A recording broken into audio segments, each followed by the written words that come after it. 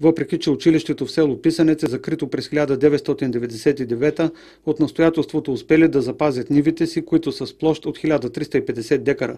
С парите, които получават от тях, всеки месец дават стипендии на деца и студенти, свързани с селото. И е, ги отдаваме в момента под найем и подпомагаме студенти и ученици и деца в детски градини, които а, а, имат връзка с писанец. Родителите и студентите трябва да са на постоянен адрес в писанец. В момента раздаваме по 52 стипендии на деца в резултат на тези училищни ниви, които, с които разполагаме на студентите по 70 лева на месец изплащаме стипендия, на учениците и на децата по 50 лева. Отделно за, подпомагаме обществения живот в селото. Освен това, от училищното настоятелство дават своя принос и за запазването на българския дух в селото, като подпомагат и читалищната дейност. Читалище Просвета 1901 година, то е така центърът сега за поддържане на културният живот, за отбелязване на всички